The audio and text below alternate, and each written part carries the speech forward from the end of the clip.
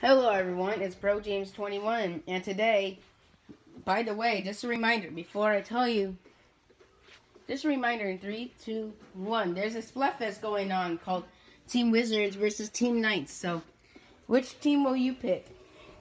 If you pick Team Wizards, it's okay, I don't care.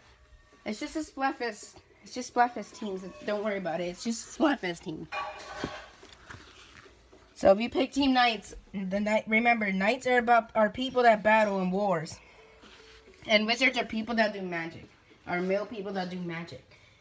So if you want to win, you gotta pick the, which is the best popular one, either Team Knights or Team Wizards.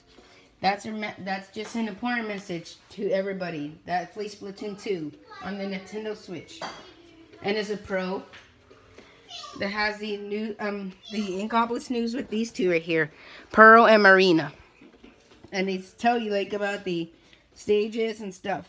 Before um when you mash B, um like you just press B until the news is over. You get to see your character, which is either an Inkling or Octoling. Mine's an Octoling girl. If you guys want to see, I'll show you guys my um, female Octoling in, in a little bit. Once the news is over, I'll show you. And then I'll oh Piranha it that's nice. Or like Piranha Plant from Super Smash Bros. Ultimate. There we go. The news is over. So here we go in three, two, and one. There she is. Look at that. It's awesome. That's a nice uh, Octoling that I put. Hold on, let me turn her around.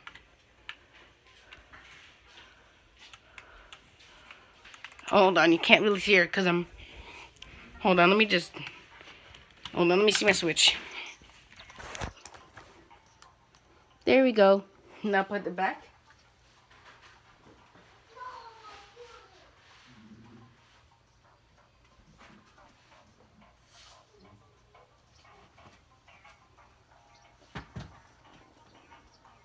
Hold on, I'm just trying to get the up here.